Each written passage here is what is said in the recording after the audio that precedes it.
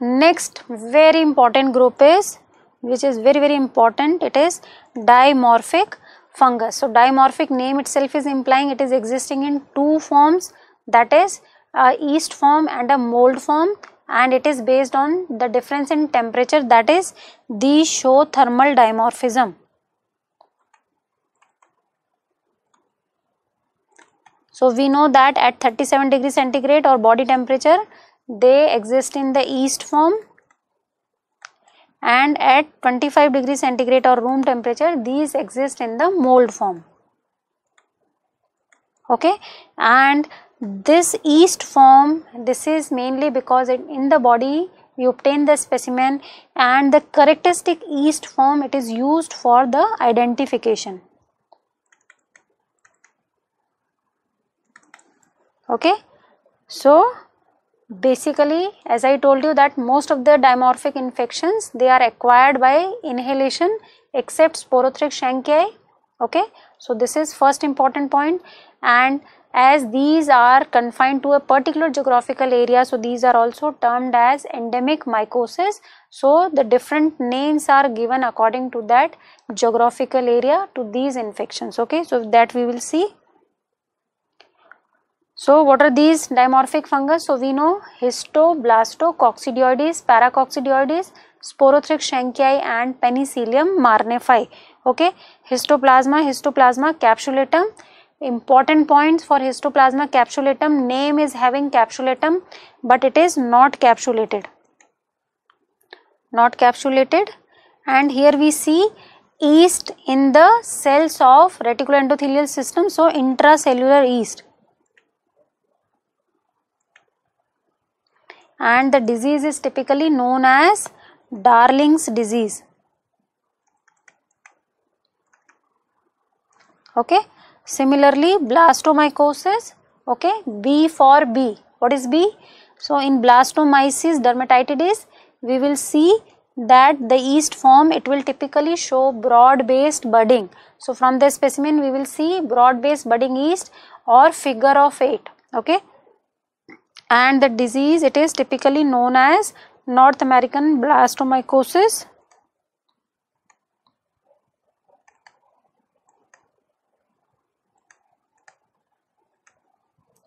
Or Gilchrist disease or Chicago disease okay? Then coccidioides immitis okay? So just now we have discussed that here we will see spherules filled with endospores. So spherules with endospores. And the disease is known as desert well desert rheumatism. Or desert valley rheumatism valley fever or Saint Joaquin Valley fever okay so all these are different names for this. Paracoccidioides here we will see a mother yeast cell giving rise to multiple small daughter yeast cells. So the multiple budding yeast cells daughter yeast cells classically giving it a picture of mariner's or sailor's wheel appearance or Mickey fin appearance. Okay so mariner's or sailor's wheel appearance and the disease is classically it is known as South American blastomycosis or Lutz disease. Okay.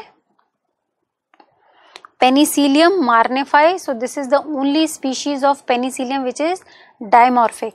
Okay. So Penicillium marneffi it is only species of penicillium which is dimorphic and the typical yeast cell it is showing a transverse septum elongated yeast cell with transverse septum. And the hyphae characteristically shows the brush like structures okay? Now most of the dimorphic fungus as i told you that infection is acquired by inhalation and except sporothrix which is acquired by traumatic implantation and the it is acquired along the lesion is seen along the lymphatics okay? And the most of the clinical presentation because mostly the route is inhalation. So, most common presentation is pulmonary or we can see the invasive apart from lungs it can involve other organs also like CNS, CVS or other site. So systemic manifestations or cutaneous manifestations these are three important presentations of infection with dimorphic fungus. Okay. So these all fungus we know transmission of all is respiratory except sporothrix schenckii where the transmission is cutaneous. All these fungus they are characterized or identified by the typical classical characteristic yeast form okay and some uh, the special cultural form also but from the specimen it is mainly by the classical yeast form okay. So this is blastoma this is histoplasma capsulatum. So classically it is seen as intracellular yeast okay? This is blastomyces classical broad based budding yeast cells. This is the brush like structure which is classically seen in penicillium marneffi so penicillium marneffi here we can see the transverse septum is seen in the yeast cells okay? The classical mariner's wheel appearance so this is paracoccidioides okay. Now this typical flower like structure and the cigar shaped e cells so classical for sporothrix schenckii okay. Spherules filled with endospores and in cultures we will see the hyphae typically showing arthrospores. Hyphae with arthrospores classically seen in coccidioides immitis and now we know what is arthrospores here you can see so these are rectangular spores developed along the uh, by the fragmentation of hyphae along the septa okay? So just quickly we will again see the important points regarding this dimorphic fungal infections because this is a very very important topic okay? So histoplasma or histoplasmosis caused by histoplasma capsulatum name is having capsulatum but it is a non-capsulated fungus. First important point. Second is the disease is known as disease is known as darling's disease. Causative agent histoplasma capsulatum or capsulati okay? So we have seen here typical demonstration of intracellular yeast in the cells of reticuloendothelial cells. In the culture if we grow it okay now this histoplasma it is characteristically associated with the pigeon droppings or bird droppings okay? Like all the dimorphic fungus most of the infection it is acquired by inhalation common presentations pulmonary systemic and cutaneous. And when we put it for culture so this is classical intracellular yeast within histiocyte. So they will give you the catchword and that whatever is the length or it is how much length is the question but it will be having some catchwords which you have to take out immediately for getting the diagnosis if it is a case of dimorphic fungal infection okay? So yeast within histiocyte implying towards the intracellular yeast classical for histoplasmosis okay? And when we will put it culture at low temperature 25 degrees centigrade then we will typically see microconidia and macroconidia so classical tuberculate macroconidia in the culture. So, this is characteristic feature of histoplasma. Okay.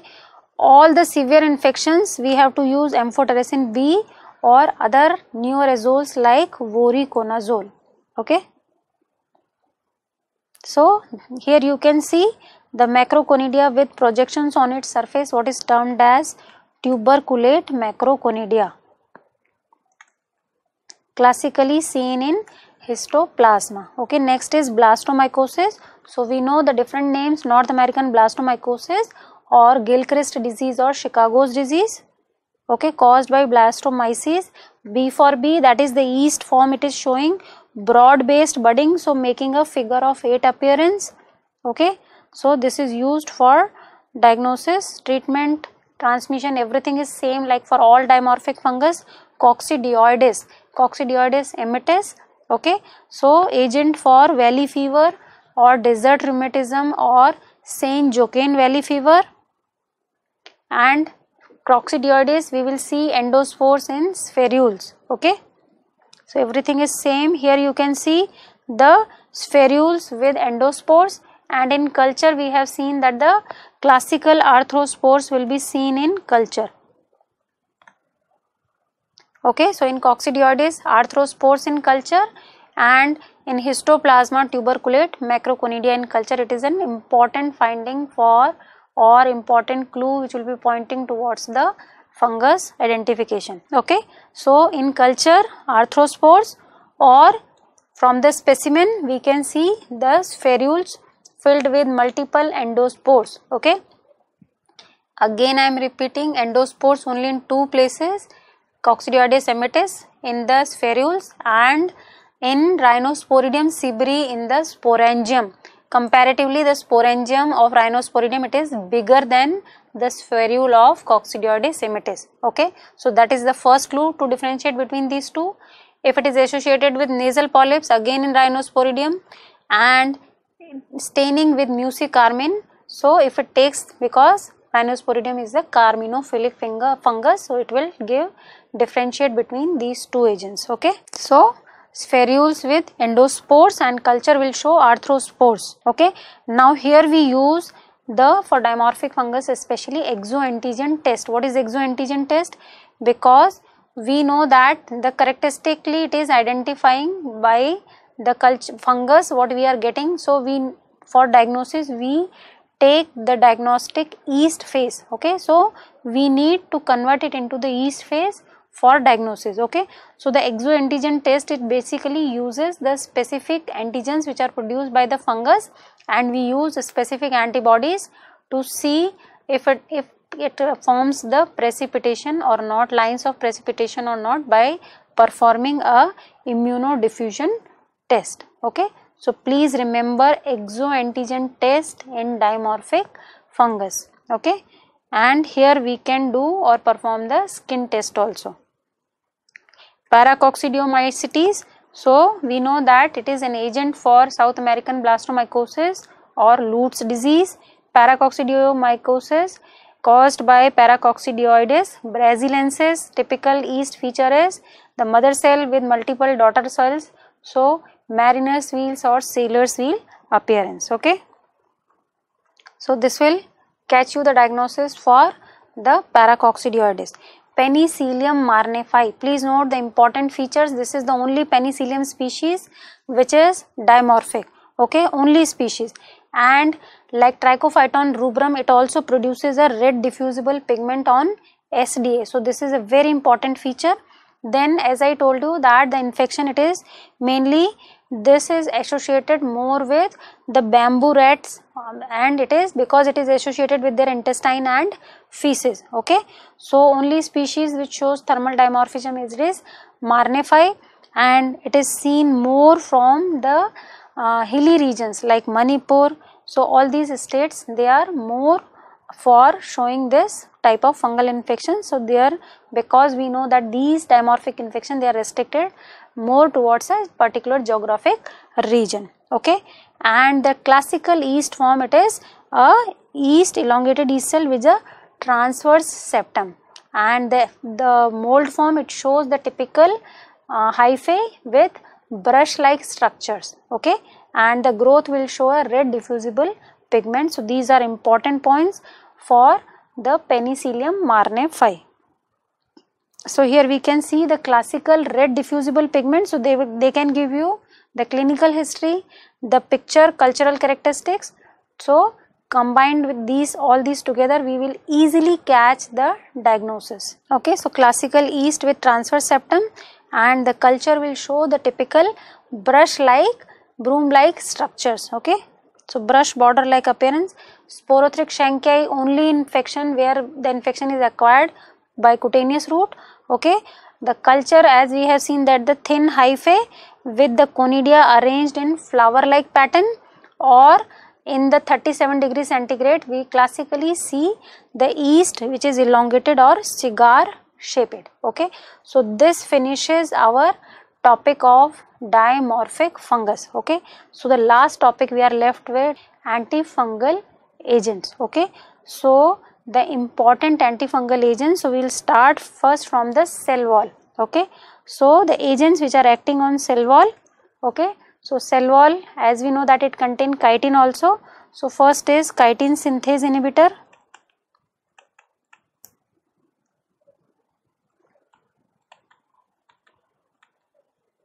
That is nikkomycin. Then the important constituent of the cell wall that is beta 13 glucan. So can for can, okay, beta 13 D glucan synthase inhibitor.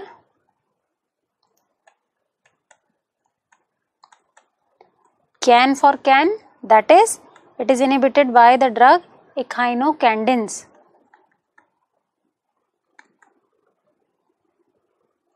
Okay next is those acting on the cell membrane. So if it binds with the cell membrane disrupts the cell membrane that is amphotericin b. Okay? Or if it binds and it hampers the important vital functions like respiration nystatin. Or the important constituent of cell membrane is ergosterol.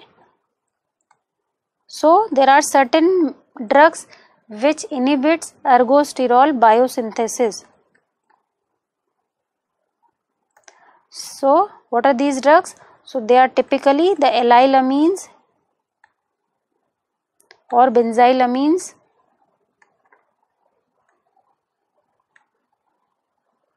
like terbinafine or the azoles. Okay so azoles like fluconazole ketoconazole voriconazole और itraconazole all these are the inhibitors of biosynthesis of ergosterol okay so cell wall inhibitors then binding with the cell membrane और inhibition of ergosterol biosynthesis और in the cytoplasm they may inhibit the spindle formation mitotic spindle formation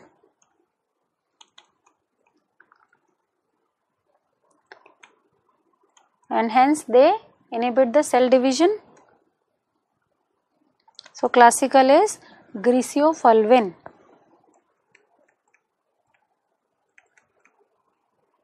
And we know that we characteristically use it because it concentrates in the superficial keratinic layers. Okay, so we use it for dermatophyte infections. Next is the inhibitors of the nucleic acid or DNA synthesis inhibitors.